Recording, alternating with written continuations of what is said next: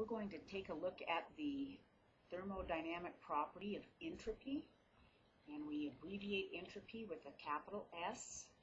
The capital letter indicates it's a state function, which makes the math easy. And a state function means that the difference in entropy, the delta S, is, which is S final minus S initial, uh, is not path dependent.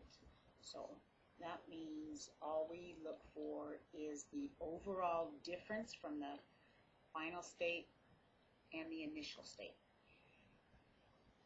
This definition of entropy, S equals K times the natural log of W, is the statistical definition. And we are not going to use this definition, but uh, we'll take a quick look at it. K is Boltzmann's constant, so that is the universal gas constant in joules per mole per degree Kelvin. And when we divide by one mole, then our mole cancels here. So Avogadro's number, 6 times 10 to the 23rd, basically takes the universal gas constant in terms of per mole and changes it into per um, item. And W I only wrote that here. W is the number of possible states. So from a statistical point of view, uh, the, if W equals 1, that means there's only one possible state for a system to be in. And that's actually where we define uh, the third law of thermodynamics, stating that at absolute zero degrees Kelvin, there is only one possible state for a perfect crystal to exist in. So I'm going to write that down here. So this would be a perfect crystal at absolute zero degrees Kelvin. And I've got a picture to show us of that. and if we have a perfect crystal that has no defects in it, and it would be it would be ordered perfectly and at absolute zero degrees Kelvin. There is no molecular motion. So remember temperature is a measure of molecular motion. Temperature is not heat. Uh, heat is a form of energy and temperature is a, a measure of motion. So if we can cool a perfect crystal down to absolute zero degrees Kelvin there's only one possible picture that we could see. And every time we look at this perfect crystal at absolute zero, it's going to look the same. So here, W equals 1. And again, that's one possible state. So that's what W means. So if we look at the definition of entropy, the ln of 1 natural log of 1 goes to 0. So here we do have an entropy term equal to 0. as soon as we add heat to this, we start uh, seeing motion from the atoms. So if W is definitely going to be greater than 1 here. So the way we look at the number of possible outcomes, I think of it as though we're taking a photograph, uh, we have a camera set up, we take a photograph every second. So if each photograph is not identical, then that means we have different states. So our third law of thermodynamics, which defines where entropy is zero, uh, this is why this has to occur at absolute zero degrees Kelvin. So we're going to look at more of a a qualitative uh, view of entropy, and we're going to care about the thermodynamic property, so we're really not going to uh, use this. But from that picture, we can we see that uh, entropy increases when uh, disorder increases. Or again, that's really the number of possible states that any system can be in. So for a phase change, if we look at a solid versus a liquid versus a gas, a solid is orderly. Maybe this is uh, silver chloride. So this might be a solid AgCl, which is a one-to-one -one ratio, a silver ion and a chloride ion. So we would have this one-to-one -one ratio. If we uh, heat this up, we'd have to get it to a fairly high temperature, but we could get this in a liquid state, or we could also get it in an aqueous state. So a liquid is less ordered and the particles are free to uh, move with respect to each other. So melted silver chloride would have more disorder, or let's say we added it to water. That really makes more sense. Then we'd have aqueous silver chloride, which case we'd have silver ions separated and dissolved in water. So melting a solid is very different than dissolving a solid, but in either case, we would have more disorder in either of these states than the solid. So our entropy would be increasing in this direction. And finally, I suppose we could really heat silver chloride up to a very high temperature and um, turn it into individual atoms or a gas. So I'm just going to draw any gas in general. And so a gas, because it takes up so much space, and each gas particle is in constant motion. Every time we take a picture of the gas, if we could do that on a molecular level, we would have a different photograph. So here, a gas is always going to have the highest uh, entropy.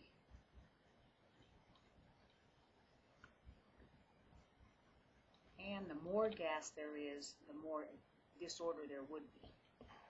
And I'm going to just talk about that for just a minute, uh, what the values have to do with. A lot of times the number of states is how many things you have. So one factorial equals 1. If you have one item, there's only one way for that to be arranged. If we have two items, 2 factorial is 2 times 1, so we get 2. So two possible outcomes as opposed to 1. 3 factorial is 3 times 2 times 1, which is 6.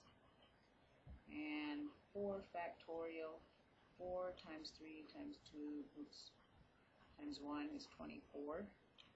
So we can see from statistics that the, the more items there are to rearrange, the much greater possible arrangements there are. So 5 times 4 times 3 times 2 times 1 is 120. So this, the highest entropy is always going to occur for a gas and also the more gas particles there are, or the number of moles of the gas, is going to increase the number of possible arrangements. And this isn't a direct uh, correspondence here, but uh, we're going to take a look at uh, just looking at any chemical reaction and seeing if the entropy change is positive or negative.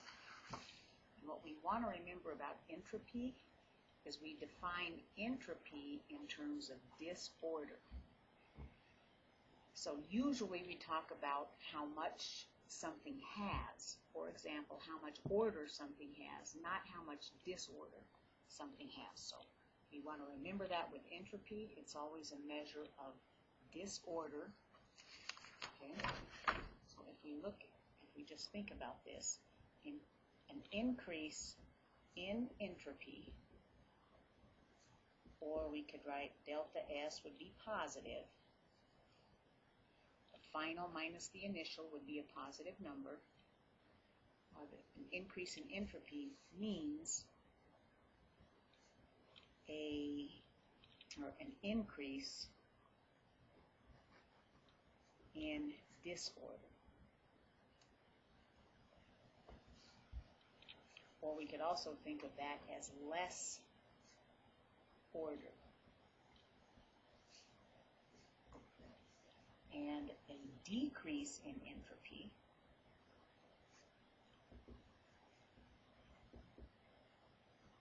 that means S final minus S initial.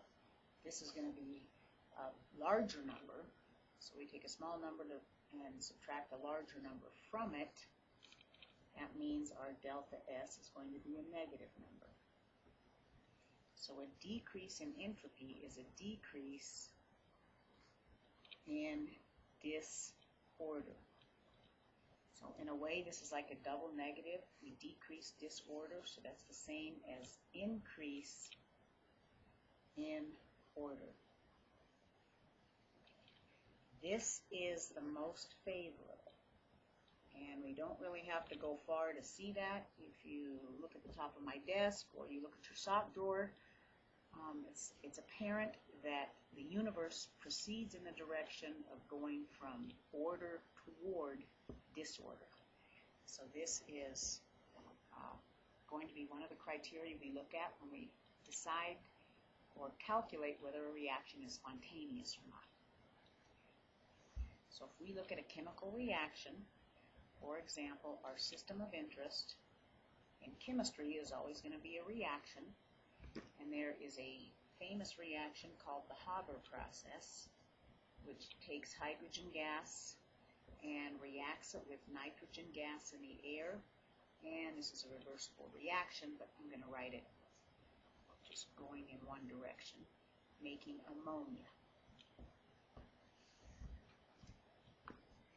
And just from looking at the system, we can predict the sign of delta S.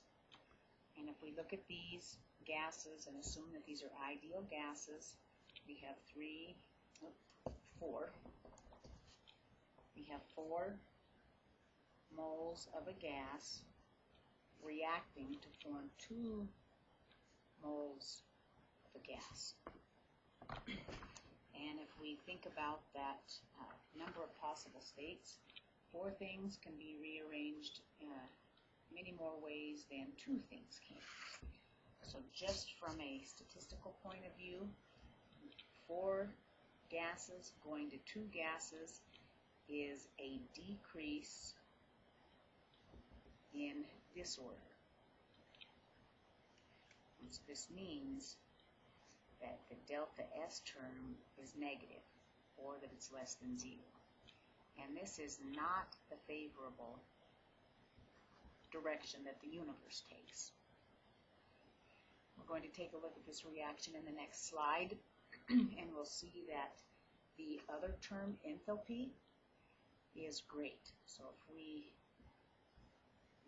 this reaction does proceed spontaneously because it's an exothermic reaction, and that term ends up uh, in competition with the disorder term. So we're going to take a look at deciding whether a reaction is spontaneous. So we're not only going to have to look at delta S, but we will look at delta H. So that's, that's coming up on the next slide. But what we want to be able to do is just look at any reaction and decide whether the entropy is increasing or decreasing. So if we have uh, solid silver chloride and we dissolve that in water, actually that won't dissolve in water, we'll take sodium nitrate sodium nitrate will dissolve in water.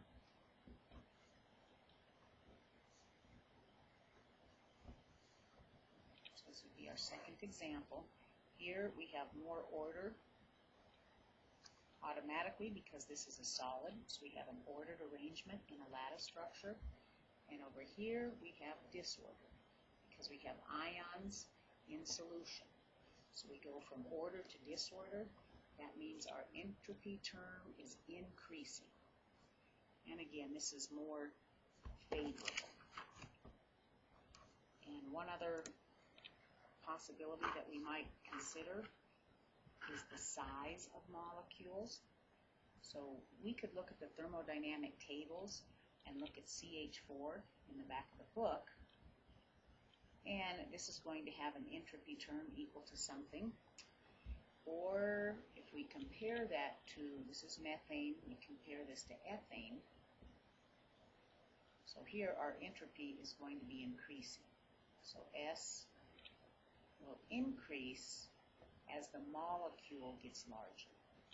So again, that sort of comes back to the argument of looking at W, the number of possible states that something could be in. So the more atoms there are in a molecule, the more uh, likely we are to see different arrangements. So if we go from methane to ethane and one more example to propane,